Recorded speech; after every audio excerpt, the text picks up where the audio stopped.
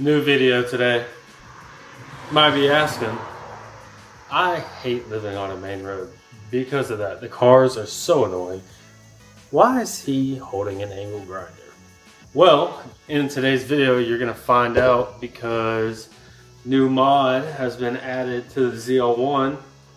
If you can guess it, put it in the comments. I bet you can. Why would I need an angle grinder? I bet you can. But if you can, put a comment. Now let's get to the video. Now, if you watched last video, uh, there was a piece in that video that may have gave away a hint of what the next mod would be.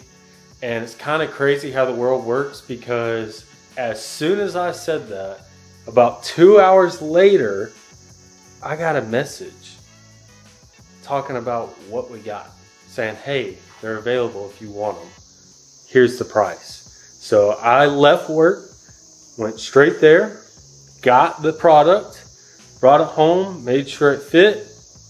It's money. I promise you. Here it is. Now before I show you, we need to we need to talk about something real quick. This car is not done. For all the people in the comments asking what's the build, it's what's the build up to this point. We still have a lot to do. But for the mod, I got some Forgestar F14s, baby. And you know we got the sticky Mickeys in the back. So these are a 17 by 10 on a uh, 305 45 17. And then these bad boys are 18 by 5 on the Roadmasters skinnies. These things look so good. Now, if you watch that video, you know that this was not even on the table.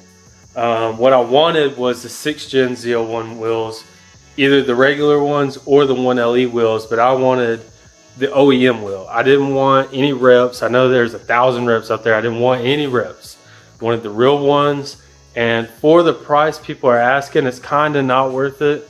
So when this deal came about, I had to jump on it.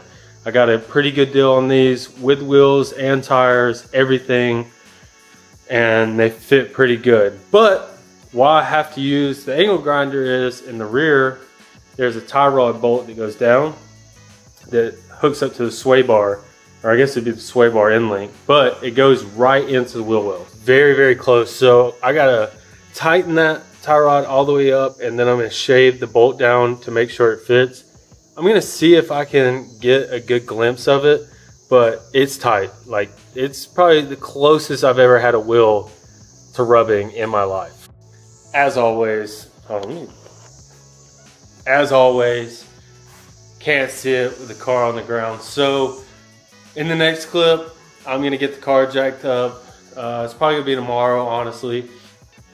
But I'll get the car jacked up. I'll show you which bolt I'm talking about and the process that I'm gonna do to get these 17 by 10s to fit. You can drive it on the car fine, um, but I'm a little skeptical. I think it might start to rub, so we need to take care of that. All right, I went ahead and jacked the car up. I just wanna show you what I need to grind down in order to make these wheels fit. These are the wheels off the car. Um, like I said, they're just Forgestar F14s. So that goes straight up to your, uh, this is like a tie rod bolt, but it's for your sway bar. And I need to grind this down. Once I grind this down, I should be able to clear those wheels very easily.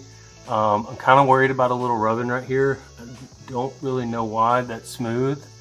Looks like it's already been rubbing, but I hope that doesn't hit as well. As you can tell, it's extremely hot uh, here in Alabama. I think it's like 87 degrees, but the humidity is just an absolute nightmare during the summer in Alabama. It really sucks to work on the car.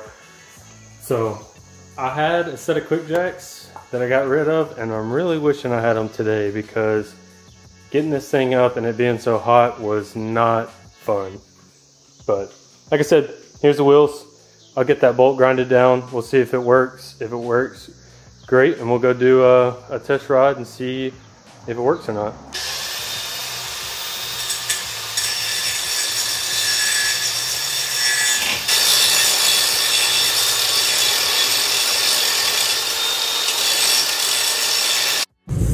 Now that I'm done sweating and everything, the car is back on the ground. So here's a here's an outside look of the car with the new wheels. The rear looks really good in my opinion. I think the whole car looks a lot better. But let me go take it for a spin and see if she rugs. That's going to be the main component. Uh, I took it for a test drive. This is a different day, but took it for a test drive and the rear wheels fit good now, thankfully. Front already fit. Um, it's a little bit wobbly, so I'm to need to get the rears balanced, but hey, looks great and works exactly how I want it to. So I think this is a great upgrade for the car. So the next time, like and subscribe and uh, I'll see you on the next one. Got a lot of stuff coming.